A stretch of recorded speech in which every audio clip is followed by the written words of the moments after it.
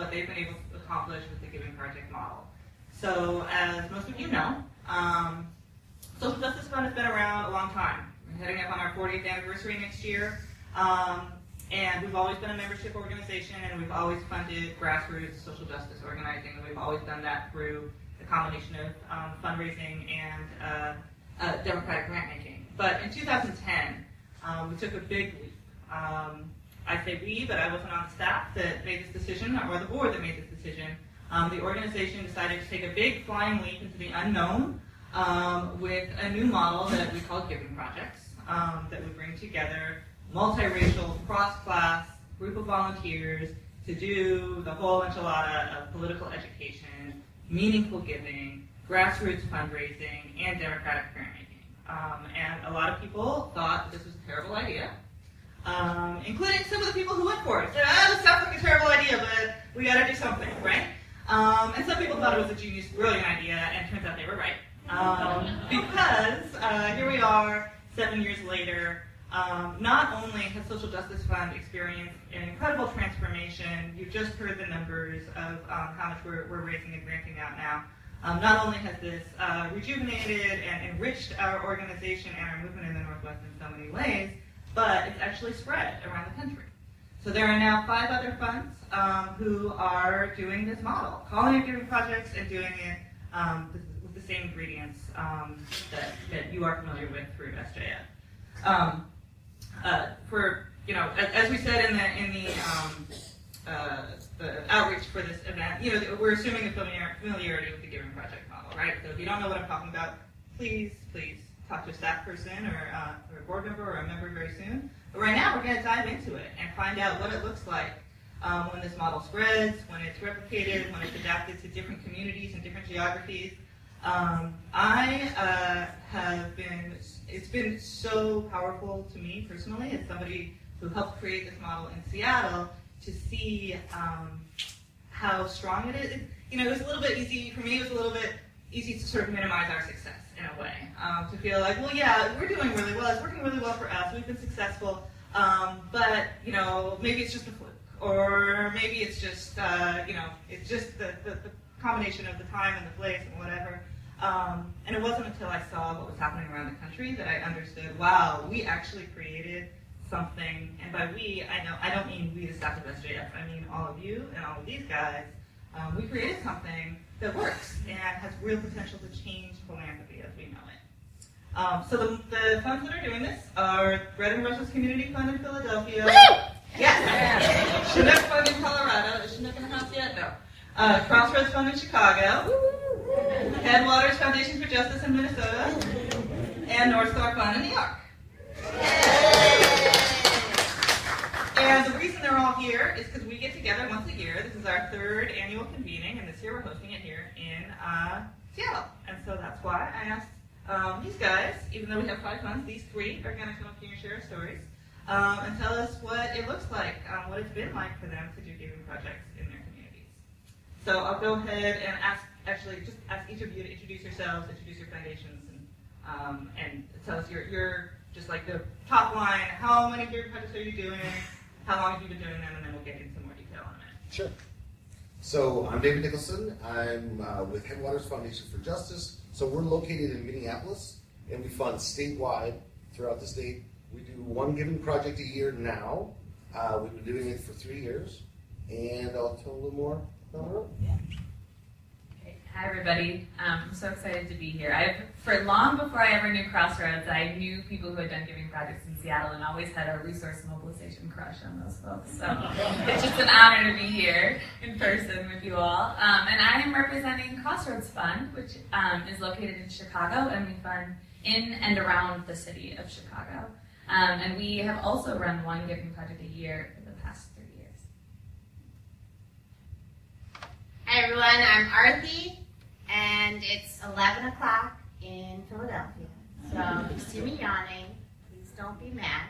Um, we are from Red Roses Community Fund. We do fund in the Philadelphia and surrounding counties, including Camden County in New Jersey.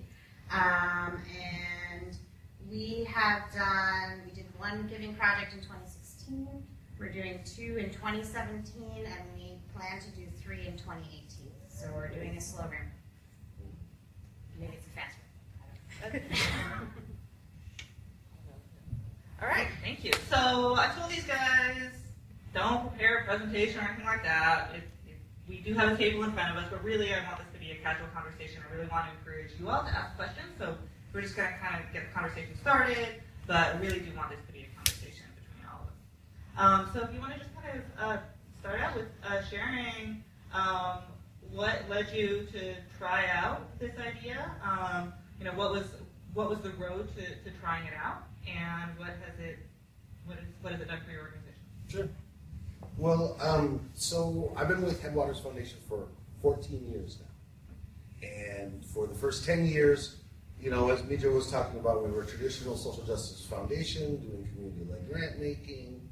And about four years ago, when I became the executive director, one of the things I wanted to do was to move more money, to engage more donors, and really looked at what are the models about revitalizing social justice philanthropy in uh, the country and early in the world, and, land, and landed really on this model. We actually brought Zeke out um, to come and do some learning and sharing, where we all got together, asked a lot of really hard questions, and then we really said this is really the model for us. And from there, we really reshaped our foundation really to take this on as one piece of our grant making. We do five grant rounds a year. This is one of the ones we do, but it's the really the central part of how we're revitalizing our foundation.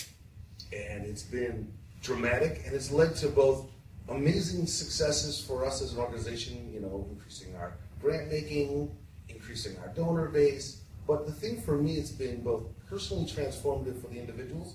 People talked about, or people asked a question earlier about why is there only 25 people? Why is the number capped? And part of it for me is I've been watching this uh, both with Social Justice Fund, but then also in, in our shop. This is really about transforming people. It's about people really finding in themselves their own personal commitment, working through their journey around money, and connecting to themselves to the community. And that's an intimate experience that really serves best in a smaller venue. So we really took that to heart, um, have modeled it really, and we've been deeply appreciative of all of you for creating this model and then sharing it with us. And that's kind of where we've been going with it.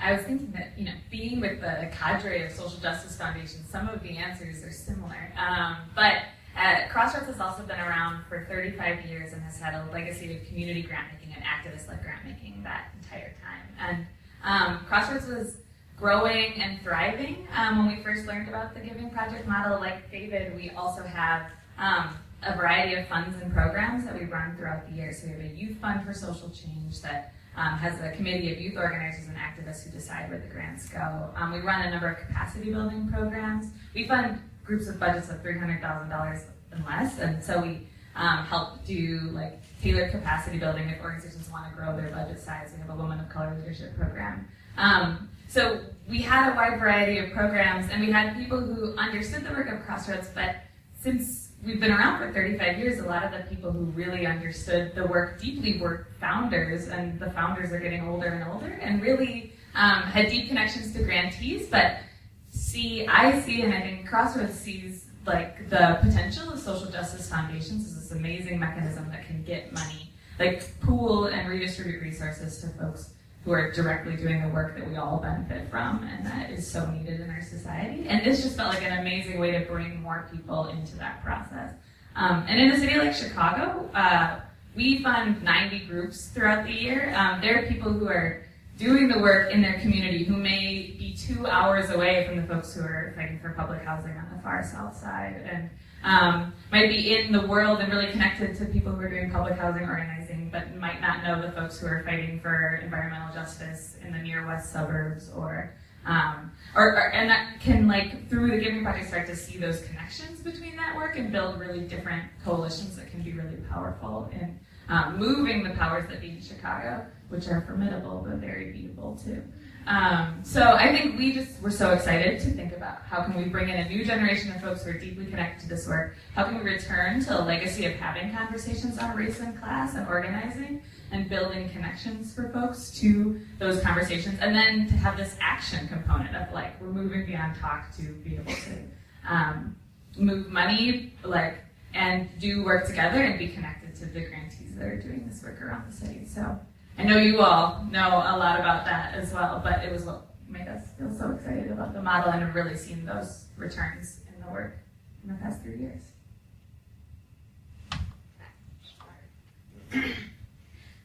Um, yes, so similarly, Bread and Roses Community Fund, we have been around for 40 years. This is our 40th anniversary in 2017.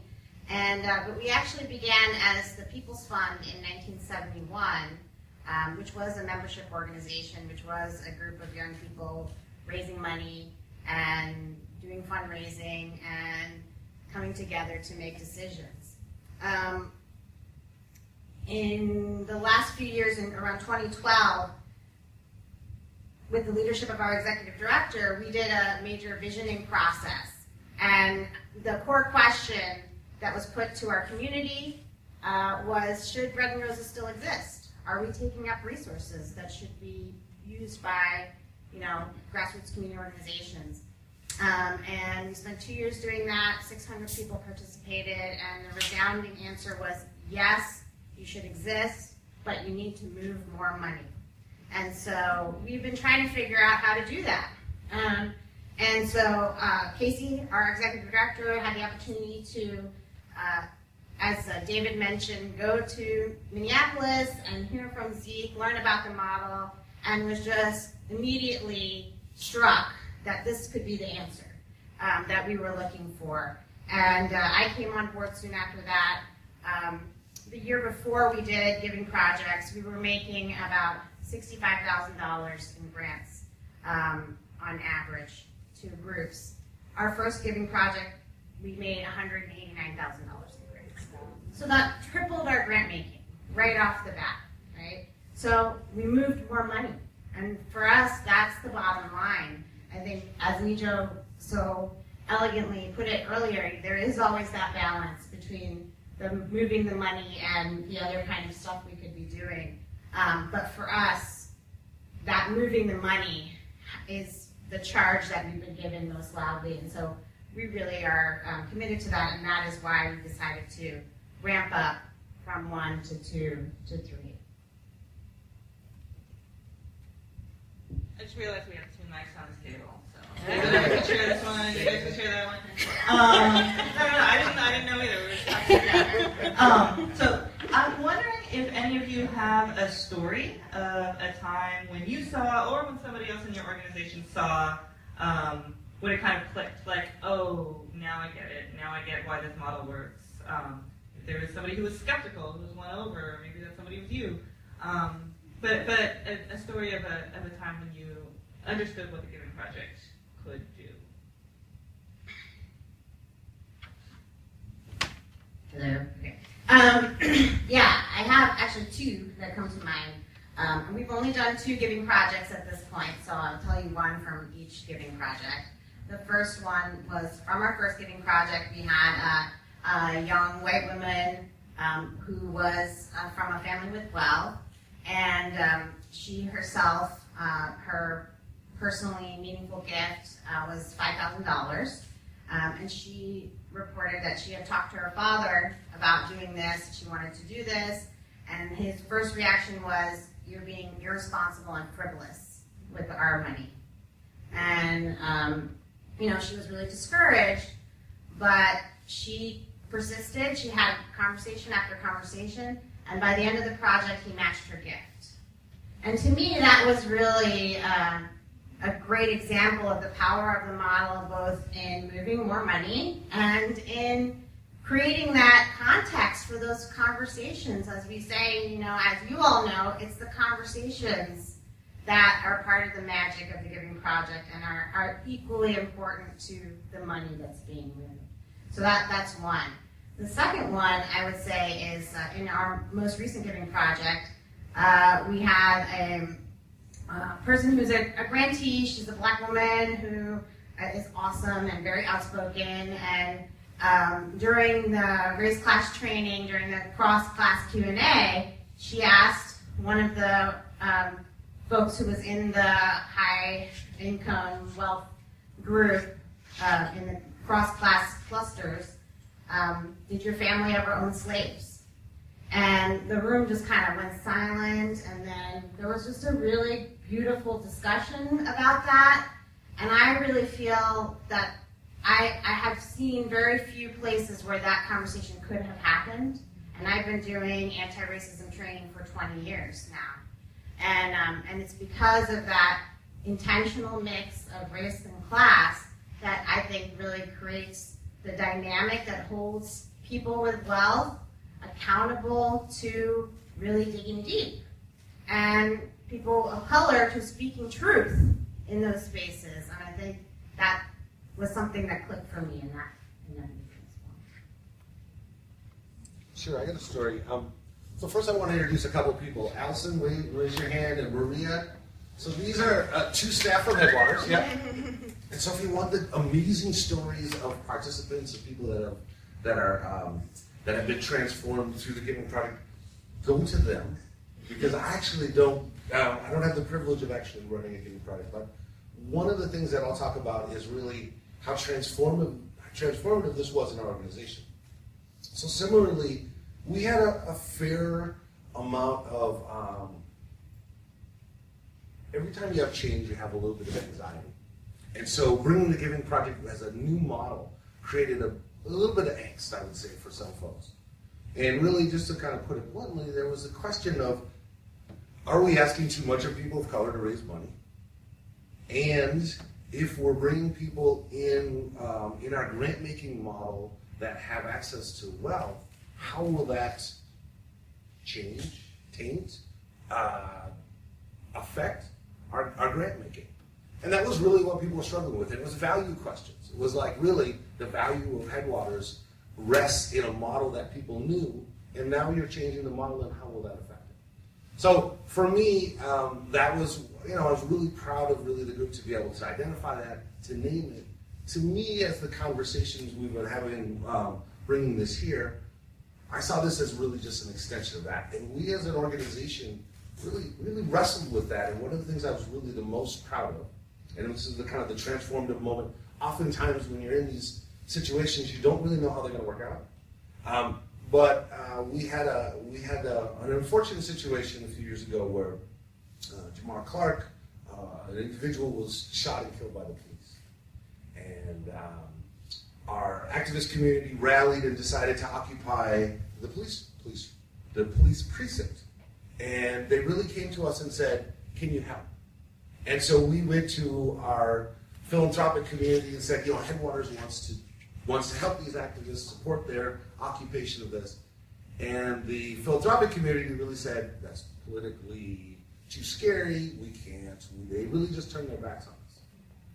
But what what changed and what changed for the organization was when we reached out to the members, not to our members, to our donors. We don't have a membership model. The people that actually had been through the Giving Project, who had this opportunity to think about race and class, who had been donors for Headwaters, they resoundingly just came with their support. Within what was it, five weeks, six weeks, we raised $150,000 to support that occupation. Hmm. And that to me, that level of engagement with that many people was the transformative moment of like, okay, this is what this is what the Giving Project does. It allows a portal for a lot of people to get very deeply engaged and ready to talk about issues and ready to move and raise money from their own. So that would be my one. I'm not got right between the lines. Um, yeah, I when I think about specific stories from the Giving Project, I, I'm with RT two come to mind. Um, one is a woman who was part of our second Giving Project, who was part of the philanthropic community in Chicago and was connected to social justice work, but I, I, I don't know if she would have said that she had deep um, connections to grantees. But I think she came in with an understanding of like, I'm interested in learning about a couple of groups or a couple of different issue areas. Um, and during the grant making training, she read the proposal that was submitted by Black and Pink, which is an amazing organization that does work with LGBT um, people who are currently incarcerated and people who are formerly incarcerated to do advocacy and organizing work around um, mass incarceration, currently working to end the use of solitary confinement in the state of Illinois. And I just remember her coming to me and being like, I. Um, incarceration, Oh boy. Always, yeah, that's what I started. um, um, but I just remember her coming to me and be like, I would never have ever wanted to site visit that group. But now that I have read this proposal, I am so interested in visiting them, and it's called into question all the things that I thought I was looking for in grantees that I was interested in visiting. So now I've checked every single applicant uh, as interested. So please send me to as many site visits as possible. And we, one of the changes to our, the way that we've modified the model is we fund um, almost 50 groups through the cycle that the Giving Project is a part of. So the Giving Project raises money, Crossroads matches that, or more than matches it. Um, and then we give grants of a variety of sizes, anywhere from 3,000 to $10,000.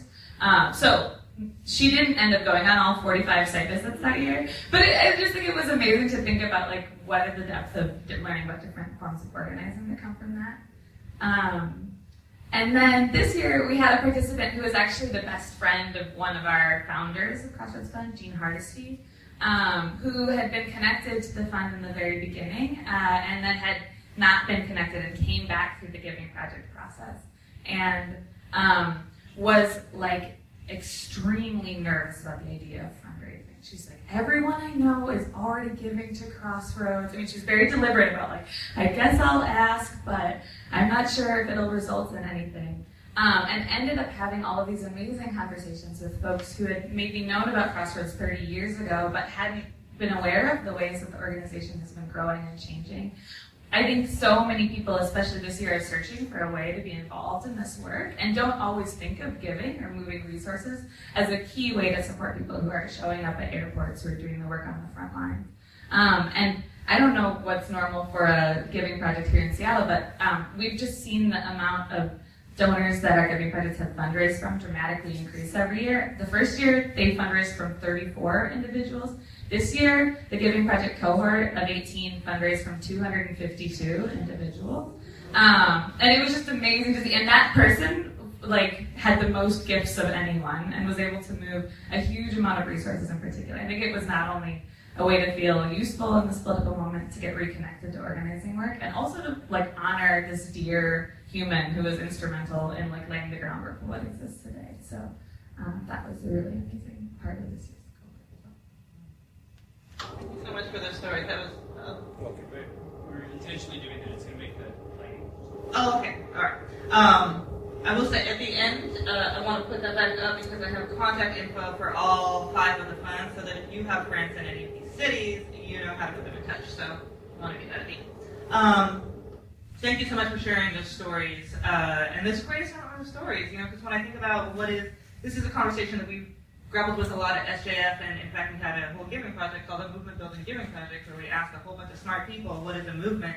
There was very little consensus, but here are some things that I know. Um, it's about bringing in, it's about numbers, right? You, it's partly about bringing in lots of people, um, lots of people with different, you know, uh, experiences and diversity of perspectives, but you've got to have numbers, and that's that's something that that you all touched on. It's about, but it's also about the interaction between those people, having real conversations, having real relationships, right? That it's not transactional, but that it goes deep. Um, and then it's about moving to action, um, and which is something that you all touched on. And so it's you know it's amazing to me to realize that it's not just this, it's not just social justice fund, but now we are part of this movement um, of giving projects through all these other funds. And I had a moment last year at last year's convening, and I can't remember who it was, but somebody said to me, "Thank you so much to Social Justice Fund for all the mistakes that you made."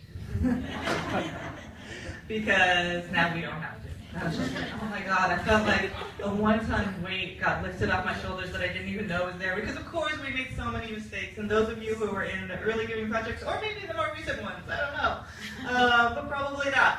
Uh, know that we were making it up as we and um, and uh, and all of you who were part of that experiment and collaborating with us and figuring that out as we went, um, you should know that that is paying off and paying off around the country. So my next question uh, for any or all of you is, what are some of the changes that you've made to the model? Because you've all put your own tweaks on it, um, and and some really uh, innovative improvements. Um, don't want to get too in the weeds. Not everybody who's here or watching has done a giving project, so they won't necessarily know all the technical stuff that you might talk about.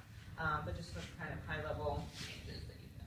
Sure, I'll just be really high level. So there's one one change that we did. We were very intentional about um, how many giving projects, and we do, like I said, we tried last year. We did two giving projects, thinking that yeah, they're six months long. Well, there's actually longer than that. As Yasmin talked about the importance of the overlap, and so we, we were very intentional about doing one a year. And the other piece that we've been, I think, that we learned from you all is there's a tremendous amount of um, connections and relationships that are built with the participants and then with their donors. And so we really thought about how we could take advantage of those relationships and a way to build their connections to Headwaters as donors and, and supporters of the movement. So that's where we've spent, um, I would say, a lot of intentionality. Um, which I don't know if it's different than the model, it's just that that's an emphasis that we really want to spend time with. Um, uh, I, I think, uh, well, I just mentioned what I think is the biggest change is that um, we we added the Giving Project, made it the grant making body of our largest fund, and so we were trying to figure out. We've traditionally given out um, more than $100,000 through that fund. So even if our giving project reaches its goal, and we hope that they'll reach and exceed their goal every year, what is our commitment to our grantees, some of whom, to the question that was raised before, like we have been supporting for 10, 15 years. Um, and so we decided to match what the Giving Project raised, or, or more than match it if we have the capacity to do so. But we're fundraising every year too, so we don't know what that's exactly going to look like. So we can't just say, oh, you put this money on the table, we'll be able to, to meet you, but we, we'll, we'll say, we'll, we'll try. Um, and then collectively, we'll see how we can resource as many groups as possible through that. Um, and it, I think one of the things that's been so amazing about being part of the learning community is to think about, I mean, we make a lot of grants to organizations with budgets of $10,000 or less. And we'll give them $3,000 or $5,000. And they may have not made it competitively if we were trying to only give grants to groups of $10,000, and therefore we had to give a smaller number to organizations. But we're able to seed new work because we give smaller grant amounts. I also think there's a lot of value to giving larger grant amounts, and it's one of those things that we're constantly balancing and thinking about. Um, there's, there's certainly trade-offs on either end of that spectrum, but that's where we've landed. And like I said, we end up supporting um, between this year we supported 50 groups through the uh, seed fund cycle, which is what the Giving Project is a part of. And we don't do issue-focused giving projects, but I think we're really excited to, as we, we committed to a three-year pilot, and now we're done with three years, so this is a year of experimentation for us at Crossroads, or, or maybe new innovation with thinking about issue-based giving projects, thinking about if could this be a source of new funding for us? We've talked about funding 501c4 as a group with a more explicit political orientation, um, and that the Giving Project could be a way to experiment with a whole new group of grantees and, and running that as a separate um, process to, like, instead of having it be part of this existing cycle, or maybe in addition to that. So um, it's one of the great things about being part of this group is to get to see what other people are doing with the model and think about how that could work better or differently for us.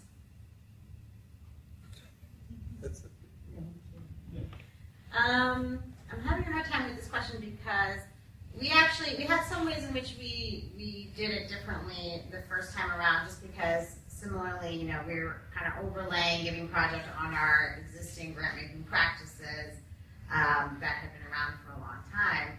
And we found that those were the things that were most clunky and didn't work. So we're actually moving closer to the model um, as we move forward um, and just like swallowing some of that like change fear that folks have and just saying like we want to go in on this and really just try being you know fidelity to the model let's see how it goes um, in terms of like the big beats uh, of the giving project and i think if there's any changes that we're making it's more within you know, each uh, piece of the curriculum. Um, and I think that you all are doing that as well. But um, you know, one I can think of is um, in the race class training, really thinking about uh, finding data, disaggregating uh, Asian populations because that's a real big schism in the city of Philadelphia where we have Cambodian and Vietnamese refugee folks and we have, you know, wealthy Indian and Chinese populations and all of the data just looks like um, erases the experiences of um, some of those refugee populations. So we're just trying to be responsive um, as much as possible to folks in the room who are saying like, hey, this doesn't actually reflect what's going on right now. So, um, and that's not makes sense that we would need to shift some of that for our locality, basically, um, as well. So, I think we're just enjoying um, taking the model and really massaging those uh, individual sessions. Um, yeah, putting our flair. Thank you. So I have many questions, but I'm also going to spend the next two days with you guys, as well as um, North Star Fund and Chinook Fund. Um, so I'd love to um, open it up to you all. Um, I think we can get questions from Facebook Live too, right? Yeah, I solicited some. Great. Um, so, uh, Elaine, so you have some questions from Facebook? Uh, not yet, but. You will. Okay. Um, so, Elaine, you have a question now. Okay, I'm um, just wondering here, we are a really tech millennial heavy city, but um, uh, building relationships with, um, you know, social justice philanthropy and the mindset, I think that people in the tech world live in, or kind of their, there, there are kind of closed circles, I think, within, within those industries, and I wonder how well you're doing in, um, connecting. So the question was about kind of bridging the gap between the social justice philanthropy world and the tech world. Yeah, Yeah. Um, any thoughts on that? Well, I don't, have a, a tech world um, sort of piece, but I would say, you know, and again, it really speaks to the, the staff that we have. One of the things that I really appreciated in the model is so intentional about bringing multiple uh, groups of people together and having shared experiences. So, um, you know, we all live in little enclaves of people that are very similar to ourselves. And one of the things that I'm really excited about with this model is that it really breaks that down and brings us together in new ways where I, that would probably be one of the most common sort of uh, experiences that I hear from participants in the Giving Project is I never would have met these people if it wasn't for this. So I don't know if I'm answering your question, but that's what I would say. Do you have, if you don't, none of your cities have like the concentration of tech um, that Seattle does. Um, do you have sort of corollary industries that you think about strategically? Not that I could think of right now.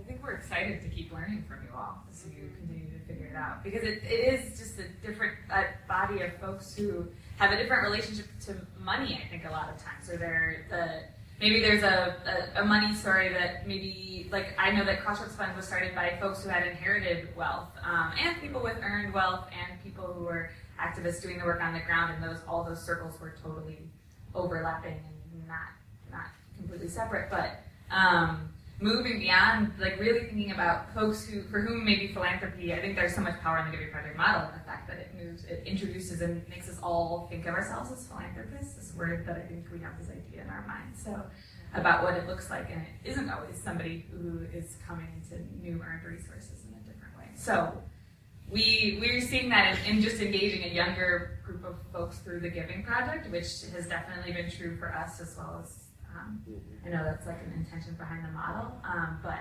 not intent specifically, and excited to keep figuring that out. That's our week. Yeah, I had a quick question, um, for, um, Ar- Ara- Arati? Arthi. Arti. Yes. Okay, that's beautiful. Thank you. Um, you said that you found some data, uh, for breaking up the variety of Asian groups, which I think is really awesome. How did you go about doing that? What data mining did you do? Or how did you, what were some of the Sure. So the question was around um, breaking down Asian and Pacific Islander groups, um, disaggregating data. Um, to be very honest with you, uh, we had a connection with the head of the um, uh, Student Asian Student Alliance at uh, University of Pennsylvania, who just had that data available, and so it was uh, quick and easy. But I'm happy to share some of that out. Um, we have some really cool slides um, that we're using now that kind of you know put things together and bubbles and things I don't know how to do. Um, but that really shows shows some of that breakdown. Esther. Hi, um, I'm interested that you all are thirty and forty year old organizations taking this on. Are you or any places in the region you're working, trying this? Startups or new organizations or organizations at, at sort of different points in your evolution? Yes. So the other two organizations you heard about, North Star Fund and Chinook Fund. Oh, sorry. The question was, so these, we're all around the same age. We're all in our late 30s, early 40s as organizations. I also am that age as an individual, but talking about organizations. So, um, so the question is, are, is there anybody doing replicating the model who is younger? Um, and uh, and so so the the other two that you heard about, Chinook and North Star, are also right around the same age. Um, however, there is a, I think it's okay to say this. Um, I, I, I know that it's okay to say this. Um, we have a new uh, group of folks joining us at the convening this year from Detroit. Um, it is not, they are not yet an organization. Um, they're not even a foundation. They're a group of groups. They're a coalition. Um, and they've decided to, they've decided to do this. And they got some funding from the Ford Foundation to figure out for themselves what community-based philanthropy will look like um, for Detroit. And so they're they're just like you know, I say that much, and, and I and I don't think that they have even gone much further than that. They're just in, taking the very first baby steps. Um, so that's really exciting. That's going to be a whole new um, level for us to figure out what this model can look like. Well, what does it look like for a startup? What does it look like when you don't have um, you know 40 years of infrastructure and donors and credibility behind you? Um, we're, we're about to find out, and Detroit is such an amazing place to find that out. So I can't wait. Yeah. And we've had interest from other places too. So there's been, I mean, one of the things, just so you all know, I mean, you guys have something that is um, such an exciting, such an exciting possibility. Every time that uh, people speak about this or hear about this, they're like, okay, where can I get some more information? Um, so we've had interest in, in people kind of contacting us from really all around the country, wanting to learn how they may start this um, or take this forward. So that's part of the intentionality of having the learning community is an accelerant place where we can have learnings happen faster, share amongst each other, and certainly, you know, um, kind of bridge off all the great learnings you guys had. Um, and, but also our commitment is to try and support people. We want more and more people to be in this, have it more open and accessible for people. So that's what we're here for. Other questions? Go. Um, how do you go about assembling giving projects so that they bring in a diverse um, group of people? I can't answer that, but Allison can So, from Minneapolis. uh, uh, I think you want to um, repeat the question and answer it, and then Allison, you, you want to come in and, and, and tap out now? Exactly. Tap it out. Well, one, one thing that Emily just reminded me, yes, the question was how do we go about bringing together a diverse group of, of people into giving projects?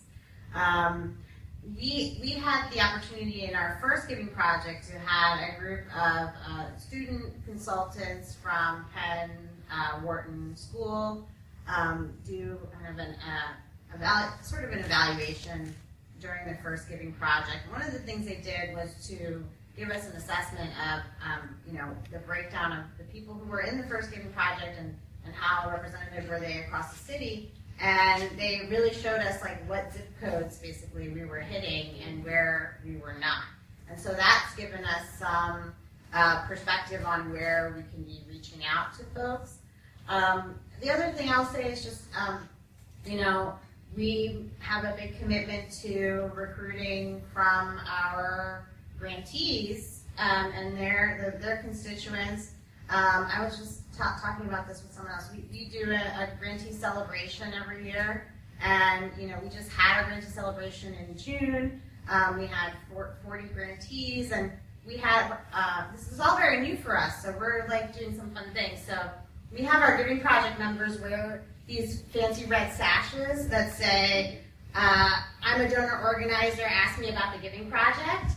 And and so you know we have them kind of milling around, um, and it's exciting for them because they get to talk to grantees.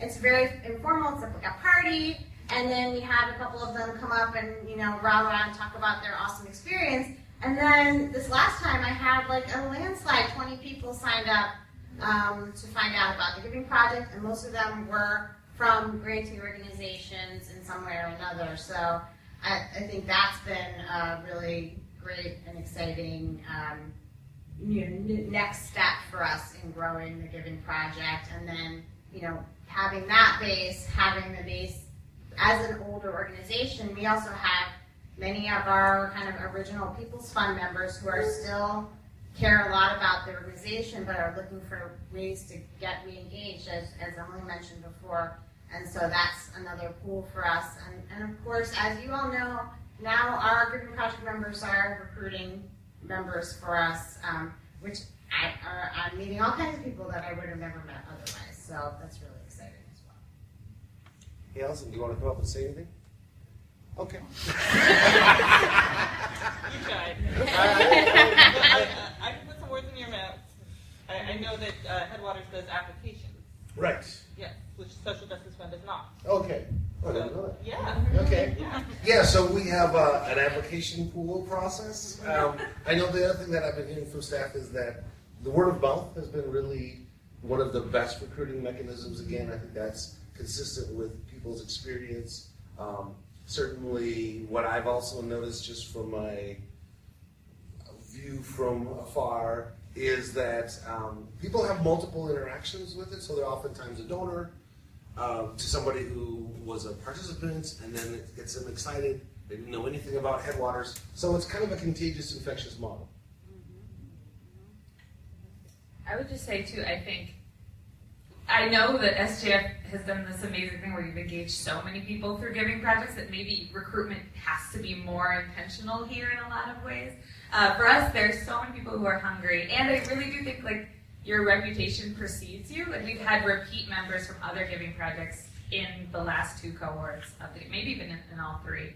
Um, we had this year, we put out, we have a very short application. We said, describe yourself in one to two sentences and tell us a little bit of, like, and just had, we didn't have to do any recruitment beyond putting that form out on our email list and had, I mean, we still sat down with that list of folks and I created a spreadsheet with like so many different columns around identity and, and really just thinking about how do we have a mix of people um, that really is going to create interesting conversations that we so often don't get to have when we're talking about race and class. I think in my experience, I've had those conversations with some subset of, and to really bring together that collection is what I think makes it magic. But it's cool to see that just by putting out an email, there's something in this work that people are drawn to and that people, I think, understand and are curious about. And right now, for us, a lot of the recruitment is, is doing itself. Um, and that is a testament to like the experience that people are having because of the model.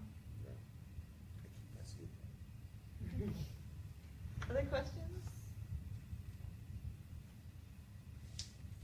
Anything from any other questions from Lisa?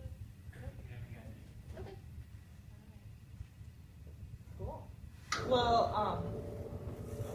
Yeah. oh. Go ahead.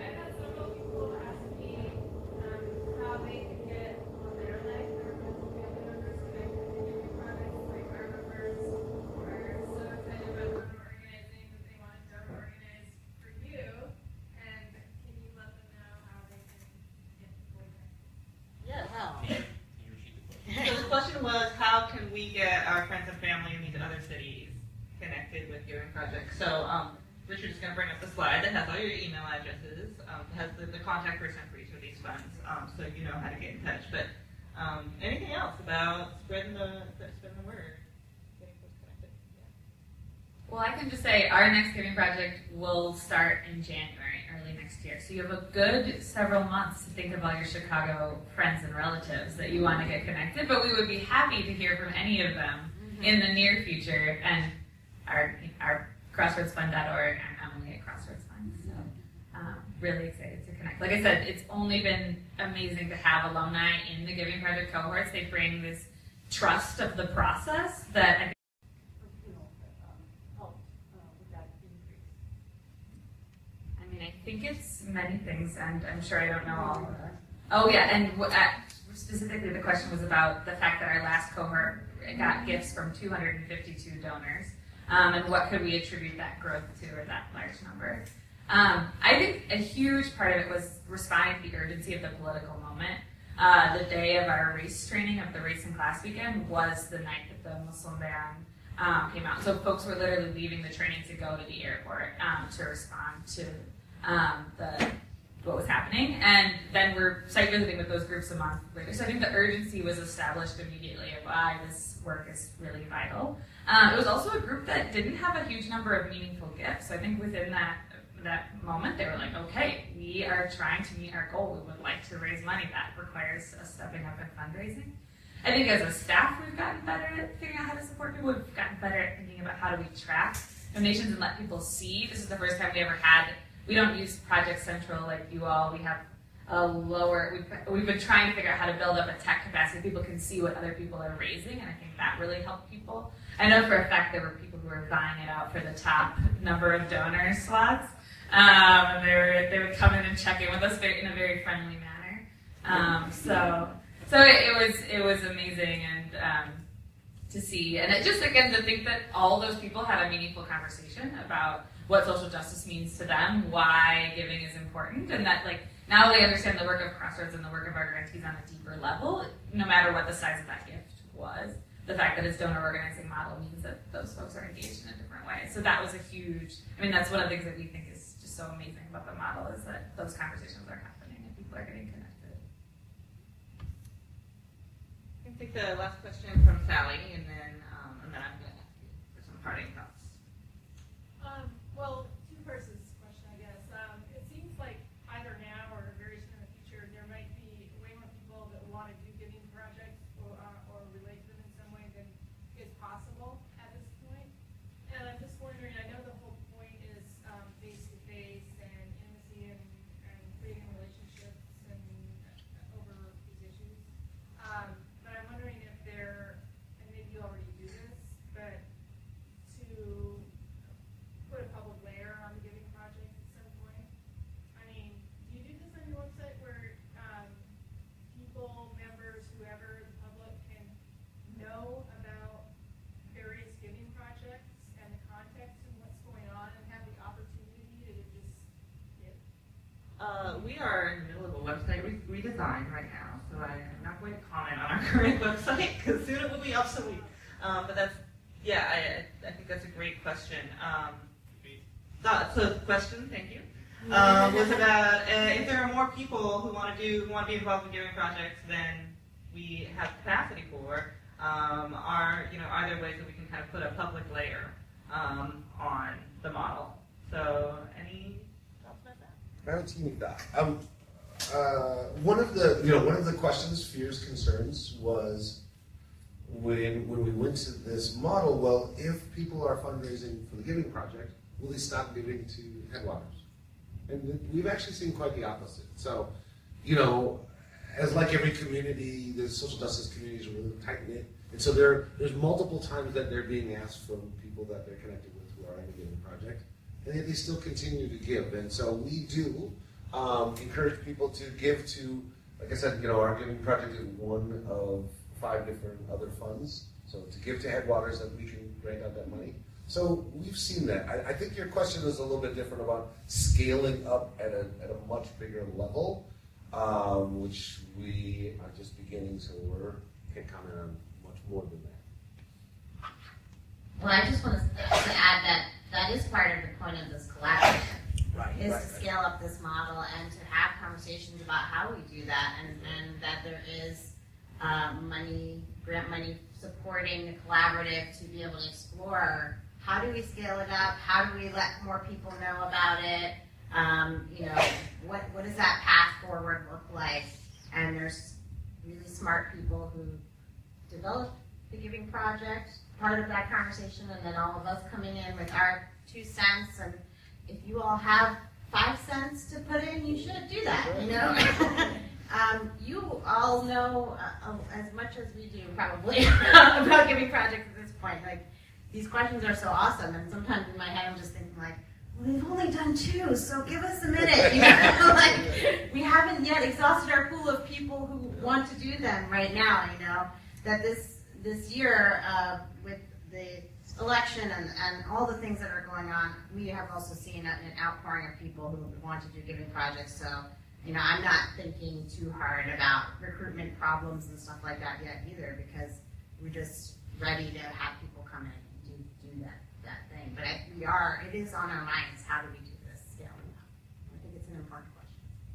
That's a great segue to the parting question that I wanted to ask you all. Um, I do want to, time for us to, to wrap up. Great. Really appreciate um, everybody um, being here for this tonight.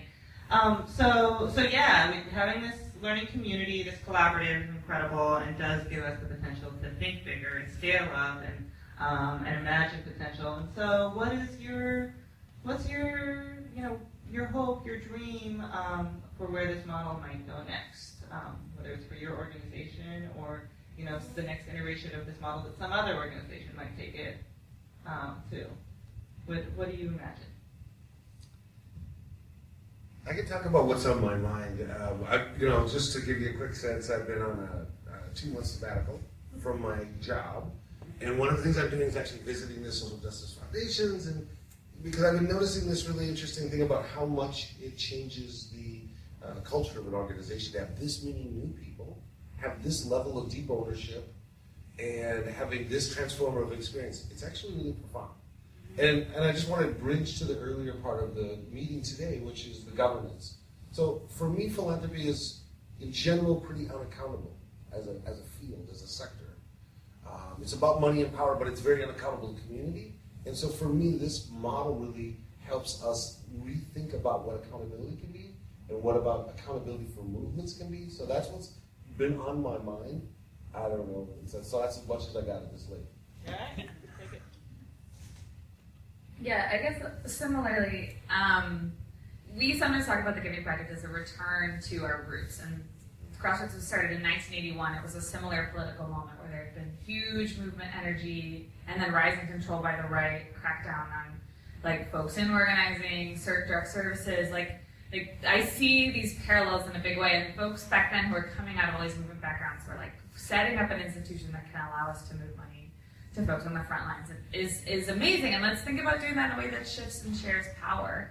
Um, and I think right now, uh, I live in a state where we have a billionaire governor, and the the dominant thought is that we have to run a billionaire against him to, in order to win, and that maybe the answer is to just turn things over to rich folks because they're the ones who can fight the money on the right side of things. And really what we know is that the amount of money that we've always moved in the grants that we've given has been tiny in comparison to what could be mounted on the other side, and yet with the small amount of resources that are moved to folks on the ground, they're able to accomplish amazing things. Like we passed a reparations ordinance in the city of Chicago last year.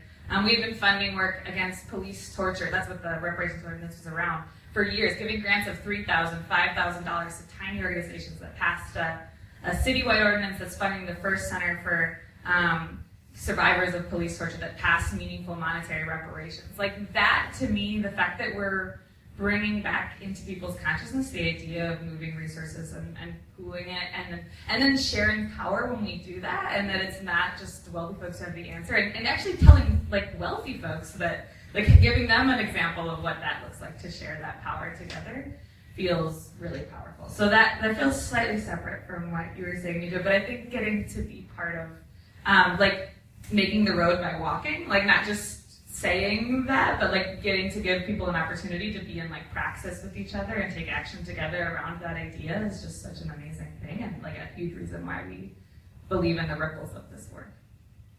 Yeah, I actually just to piggyback on what uh, Emily just said, you know, one of the things I've been in my recruitment have been talking about giving projects as mini reparations and as a model for us, for more people to experience what reparations could be like, given that we are a multiracial nation with multiple forms of tragedy and crime, and uh, that all of those stories need to be told and heard, and that uh, folks need to be accountable to that, but do it in a way that's community building.